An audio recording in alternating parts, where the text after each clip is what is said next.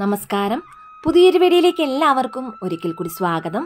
May മാസത്തിലെ മൈത്രേയ മുഹൂർത്തം എന്നാണെന്നും മൈത്രേയ മുഹൂർത്തത്തിന്റെ മധ്യത്തിലുള്ള സമയം ഏതാണെന്നും ഏതു സമയത്താണ് പണം കവറിൽ വയ്ക്കേണ്ടത് ബേ ലീഫിൽ എഴുതേണ്ടത് ഇതൊക്കെയാണ് ഇന്നത്തെ വീഡിയോയിലൂടെ പറയാൻ പോകുന്നത്. മൈത്രേയ മുഹൂർത്തം എന്നാൽ കടബാധ്യത തീർക്കുന്നതിന് ഏറ്റവും അനുയോജ്യമായ ദിവസമാണ്. മൈത്രേയ മുഹൂർത്തത്തിൽ ഈ ഒരു വഴിപാട് ചെയ്ത് ഒരുപാട് പേർക്ക് നല്ല റിസൾട്ട് കിട്ടിയിട്ടുണ്ട്. അവരത് കമൻസ് വഴി അറിയിച്ചിട്ടുമുണ്ട്. മാത്രമല്ല ഒരുപാട് പേർക്ക് പണയത്തിലുള്ള സ്വർണം തിരികെ എടുക്കാനും സാധിച്ചു എന്നും പറഞ്ഞ് ഒത്തിരി കമൻസ് വരുന്നുണ്ട്. അതുകൊണ്ട് കടബാധ്യതയുള്ളവർ വളരെ ലളിതമായ ഈ ഒരു പരിഹാരം ചെയ്യുക. തീർച്ചയായും എത്ര വലിയ കടബാധ്യത ഉണ്ടെങ്കിലും ശരി അത് പൂർണമായും നിങ്ങൾക്ക് തീർക്കാനുള്ള ഒരു വഴി ഈ ഒരു പരിഹാരത്തിലൂടെ നിങ്ങൾക്ക് മുൻപിൽ തെളിഞ്ഞു വരുന്നതാണ്. പൊതുവായി ഒട്ടുമിക്ക പേരും പലതരത്തിലുള്ള കടബാധ്യത മൂലം വിഷമിക്കുന്നവരാണ്. ചില പ്രത്യേക സന്ദർഭങ്ങളിൽ മറ്റുള്ളവരിൽ നിന്നും നമുക്ക് പണം കടം വാങ്ങേണ്ടതായി വരാറുണ്ട്. എന്നാൽ അവരോട് നമ്മൾ പറഞ്ഞ സമയത്ത് തന്നെ ചിലപ്പോൾ നമുക്ക് ആ പണം കൊടുത്തു തീർക്കാൻ സാധിച്ചെന്നും വരില്ല. അങ്ങനെ വരുമ്പോൾ നമ്മൾ പ്രതീക്ഷിക്കാത്ത തരത്തിൽ പലതരത്തിലുള്ള പ്രശ്നങ്ങളും ബുദ്ധിമുട്ടുകളും വന്നു ചേരാറുണ്ട്.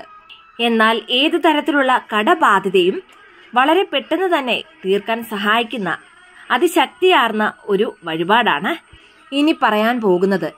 ഈ ഒരു പരിഹാരം ചെയ്യുന്നതിലൂടെ എത്ര വലിയ കടബാധ്യത ഉണ്ടെങ്കിലും അത് പൂർണമായും നിങ്ങൾക്ക് തീർക്കാൻ സാധിക്കുന്നതാണ്. വീട് ലോൺ വാഹന ലോൺ ഗോൾഡ് ലോൺ മറ്റുള്ളവരിൽ നിന്നും പലിശക്കെടുത്ത പണമായാലും ശരി അതല്ല ബാങ്ക് ലോൺ. അങ്ങനെ എത്ര വലിയ കടബാധ്യതയാണെങ്കിലും ശരി ഈ പരിഹാരം ചെയ്യുന്നതിലൂടെ അതെല്ലാം വളരെ വേഗത്തിൽ തന്നെ നിങ്ങൾക്ക് തീർക്കാൻ സാധിക്കുന്നതാണ്. ഓരോ മാസത്തിലും രണ്ട് അല്ലെങ്കിൽ മൂന്ന് മൈത്രേയ മുഹൂർത്തങ്ങളാണ് വരാറുള്ളത്. ഇത്തവണ മെയ് മാസത്തിൽ രണ്ടു മൈത്രേയ മുഹൂർത്തങ്ങളാണ് വരുന്നത്. ഒരു മൈത്രേയ മുഹൂർത്തം ഞായറാഴ്ചയും മറ്റൊരു മുഹൂർത്തം വ്യാഴാഴ്ചയുമാണ് വരുന്നത്. ഈ രണ്ട് മൈത്രേയ മുഹൂർത്തത്തിലും ഏത് സമയത്താണ് വഴിപാട് ചെയ്യേണ്ടതെന്ന് നോക്കാം. മെയ് മാസത്തിലെ ആദ്യത്തെ മൈത്രേയ മുഹൂർത്തം വരുന്നത് മെയ് ഏഴാം തീയതി ഞായറാഴ്ച വൈകിട്ട് ആറ് അൻപത്തിനാല് മുതൽ. എട്ട് ഇരുപത്തിയൊന്ന് വരെയാണ് മൈത്രേയ മുഹൂർത്തം വരുന്നത്. ഇനി മൈത്രേയ മുഹൂർത്തത്തിന് മധ്യത്തിലുള്ള സമയം എന്ന് പറയുന്നത് ഏഴ് ഇരുപത്തിമൂന്ന് മുതൽ ഏഴ് അൻപത്തിരണ്ട് വരെയാണ്.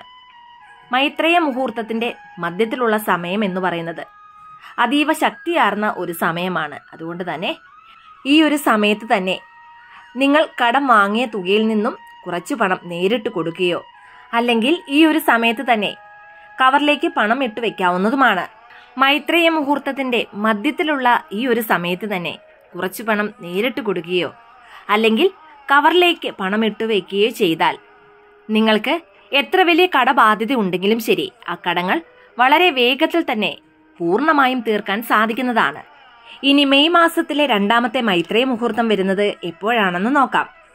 മെയ് പതിനെട്ടാം തീയതി വ്യാഴാഴ്ച വെളുപ്പിന് മൂന്ന് നാൽപ്പത്തി ഒൻപത് മുതൽ വെളുപ്പിന് അഞ്ച് മുപ്പത്തി ആറ് വരെയാണ് മൈത്രേയ മുഹൂർത്തം വരുന്നത്.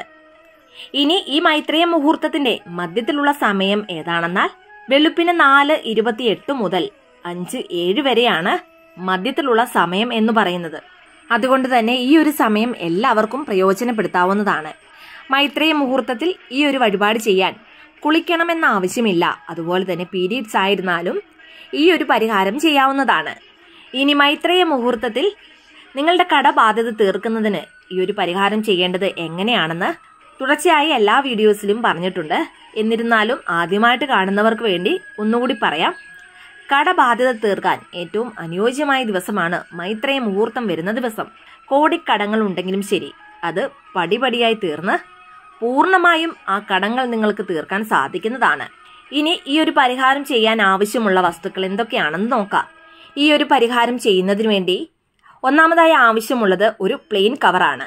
രണ്ടാമതായി ഒരു ബേലീഫ് ഒരു കഷ്ണം പച്ച കർപ്പൂരം പിന്നീട് ഒരു നിശ്ചിത തുക. ഇത്രയുമാണ് ഈ ഒരു പരിഹാരത്തിന് ആവശ്യമുള്ളത്. ഒരു കടത്തിന് ഒരു പ്ലെയിൻ കവർ ഒരു ബേലീഫ് ഒരു കഷ്ണം പച്ച കർപ്പൂരം ഒരു നിശ്ചിത തുക.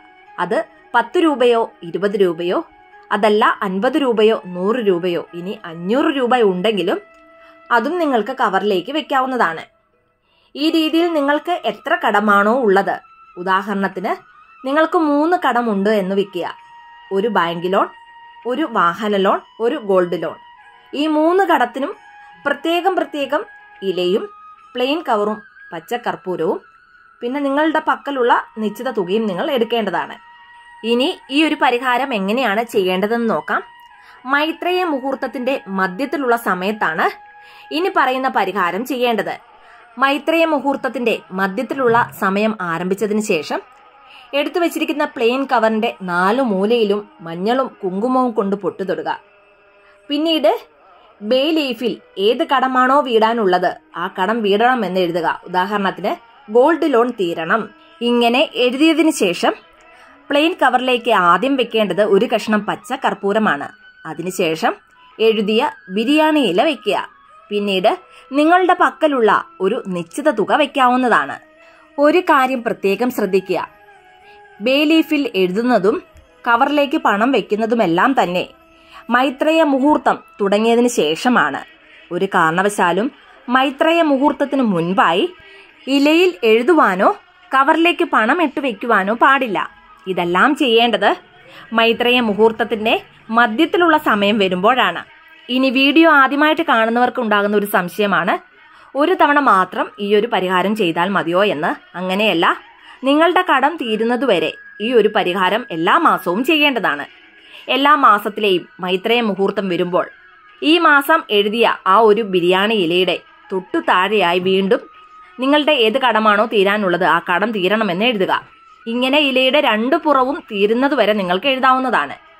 അതിനുശേഷം നിങ്ങളുടെ പക്കലുള്ള പത്ത് രൂപയോ ഇരുപത് രൂപയോ അൻപത് രൂപയോ അങ്ങനെ നിങ്ങളുടെ കയ്യിലുള്ള ഒരു നിശ്ചിത തുക കവറിലേക്ക് വീണ്ടും വെക്കുക. ഇങ്ങനെ എല്ലാ മാസവും ഇലയിൽ എഴുതി കവറിലേക്ക് പണം വെക്കേണ്ടതാണ്. ഒരു കാര്യം പ്രത്യേകം ശ്രദ്ധിക്കുക. കവറിലേക്ക് വെക്കുന്ന പണം. നിങ്ങൾക്ക് എന്താവശ്യം വന്നാലും ഒരു കാരണവശാലും ആ കടം തീരുന്നതുവരെ ആ രൂപ എടുക്കുവാൻ പാടില്ല. അതുപോലെ തന്നെ ഒരു തവണ എഴുതുന്ന ബിരിയാണി ഇലയുടെ രണ്ടു വശവും തീരുന്നതുവരെ ആ ഇലയിൽ തന്നെ എഴുതാവുന്നതാണ്. ഇനി ഇലയുടെ രണ്ടു പുറവും എഴുതി തീർന്നതിന് ശേഷം ആ ഇലയിൽ കുറച്ച് വെളിച്ചെണ്ണയോ നല്ലെണ്ണയോ പുരട്ടി ഒരു മെഴുകുതിരി നാളത്തിലോ അല്ലെങ്കിൽ ഒരു മൺവിളക്കിന്റെ നാളത്തിലോ ആ ഇല കത്തിച്ച് അതിന്റെ ചാരം കാറ്റിൽ പറത്തി വിടുകയോ അല്ലെങ്കിൽ വെള്ളത്തിൽ ഒഴുക്കി വിടാവുന്നതുമാണ്. വീണ്ടും പുതിയ ഇലയിൽ എഴുതാവുന്നതാണ്. ഇനി മൈത്രേയ മുഹൂർത്തത്തിൽ നിങ്ങൾ കടം വാങ്ങിയ വ്യക്തിക്ക് കുറച്ച് പണം നേരിട്ട് കൊടുക്കാൻ സാധിച്ചാൽ അങ്ങനെയും നൽകാവുന്നതാണ്. ഇനി നേരിട്ട് കൊടുക്കാൻ സാധിച്ചില്ല എങ്കിൽ മൈത്രേയ മുഹൂർത്തം തുടങ്ങുമ്പോൾ ഓൺലൈനായി ട്രാൻസ്ഫർ ചെയ്തും കൊടുക്കാവുന്നതാണ്. ഈ രണ്ട് രീതിയിലും കൊടുക്കാൻ സാധിക്കാത്തവർ മാത്രം മൈത്രേയ മുഹൂർത്തത്തിൽ കവറിലേക്ക് പണം ഇട്ട് വെക്കാവുന്നതാണ്. കടബാധ്യതയുണ്ടെങ്കിൽ മനസ്സമാധാനത്തോടുകൂടി ആഹാരം കഴിക്കുവാനോ ഉറങ്ങുവാനോ നമുക്ക് സാധിക്കില്ല. മാത്രമല്ല നമ്മുടെ കുടുംബത്തിന്റെ സന്തോഷവും ഇതിൻ മൂലം ഇല്ലാതാകുന്നതാണ്. അതുകൊണ്ട് തന്നെ കടബാധ്യതയുള്ളവർ വിഷമിക്കാതെ ഈ മൈത്രേയ മുഹൂർത്തത്തിൽ ഈ ഒരു പരിഹാരം ചെയ്തു നോക്കുക. തീർച്ചയായും നല്ല റിസൾട്ട് നിങ്ങൾക്ക് ലഭിക്കുന്നതാണ്.